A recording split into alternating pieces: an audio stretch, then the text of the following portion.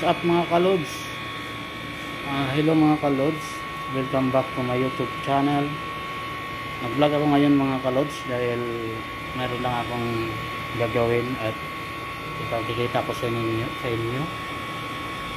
Ah, mag-replace ako ng thermostat sa AC ah, window type. Ito yan, naka-andar siya ngayon. Yan. Ito yung thermostat. Ngayon, kapalitan ko siya dahil hindi siya gumagana. Dahil nag-aayos siya. Uh, pag matagal siya nag ano, nag mandar na mag-aayos siya dito.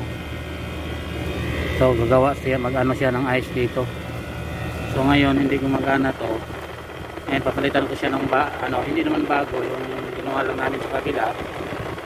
Ngayon, papalitan ko siya. So, pakita ko sa inyo kung paano ko siya ikabit.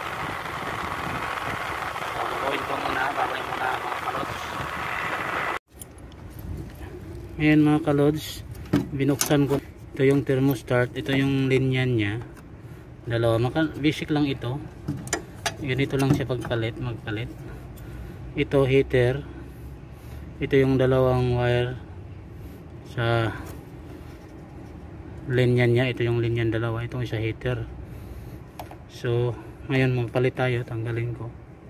Tanggalin ko to siya. Basic lang. Tsaka ito yung ipapalit ko dito. Mayroon akong ipapalit.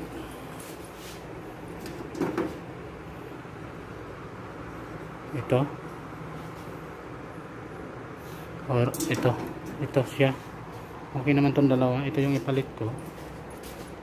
So, ngayon ipapalit ko siya. So, babay muna. Ipapalit ko muna siya. Pinalitan ko na. Ito yung tinanggal ko. Ito yung tinanggal ko ng thermostat.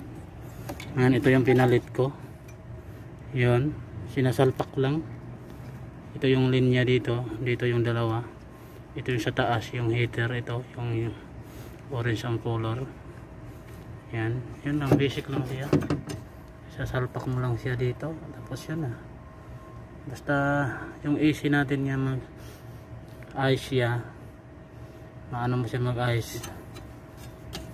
May posibilidad ito. Ang sira pag hindi na to gumagana kasi hindi na to siya mag-o-off.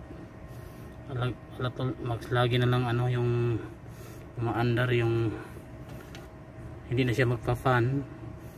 So yun itong problema. So kaya magigilo siya.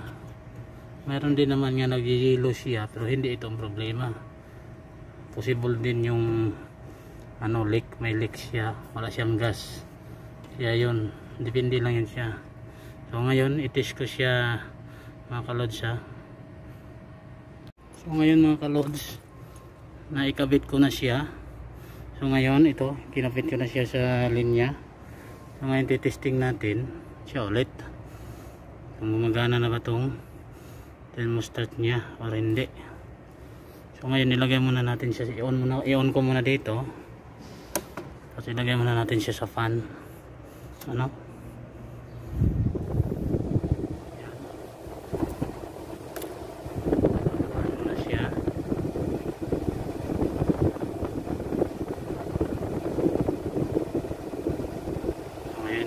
siya sa compressor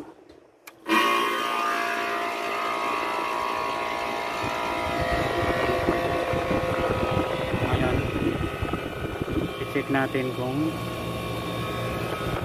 nagana na ba yung thermostat niya.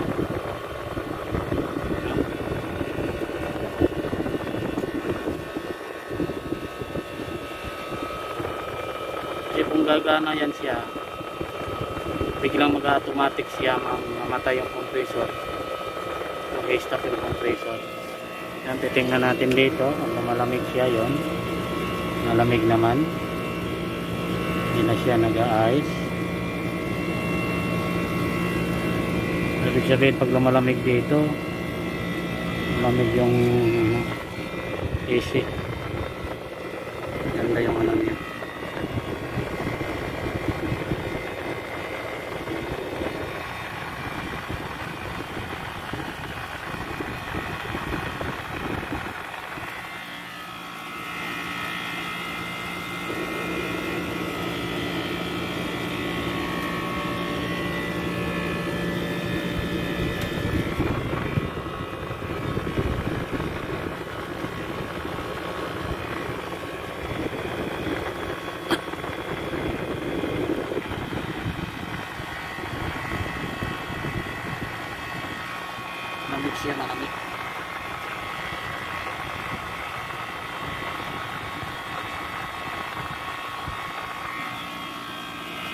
basa yung ano niya dito.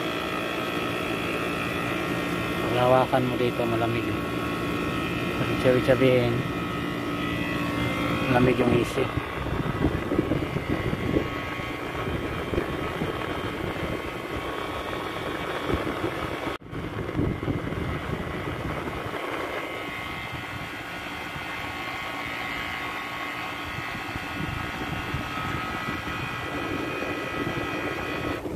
yun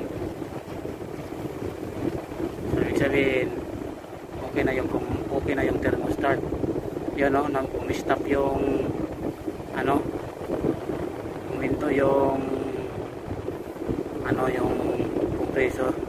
Yung tunog sa compressor uminto na. Kasi automatic to siya eh. Kasi papahingayin muna niya yung compressor.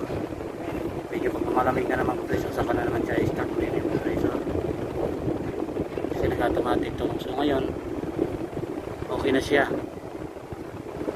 wala ng problema to.